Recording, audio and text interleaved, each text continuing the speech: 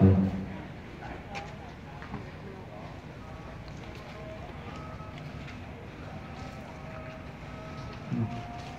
vô cùng thương tiếc của ông Trương Văn An hội đồng hương Lam Văn Hà thị xã Long Khánh đã về viếng của ông. À, xin mời à, hội đồng hương lên à, trình tại vô này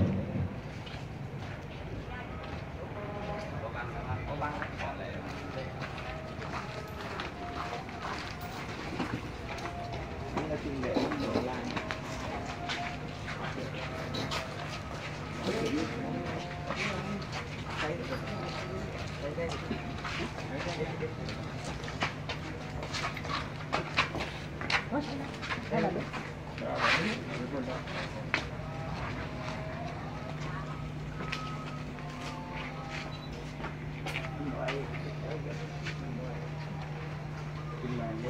Lăng Tình thưa làng.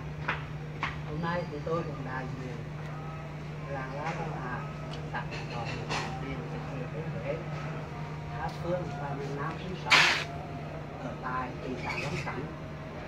Hôm nay người riêng là gặp bác cùng quê hương ở đây.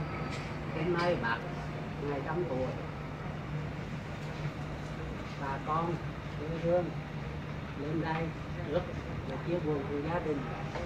Sau nữa, thắp nhang nhang để tiền đưa nơi ăn những hồn thì ờ, tôi cũng tin ờ, vậy là hôm nay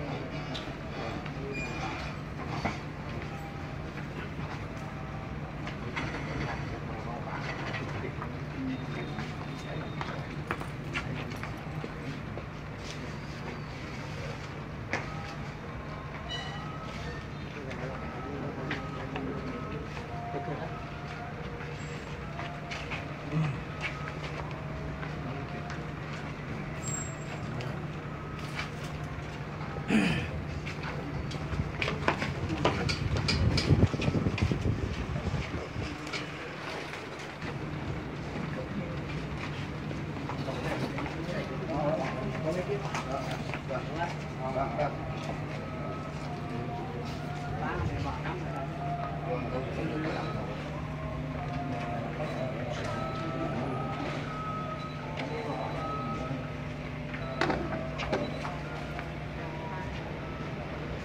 Thank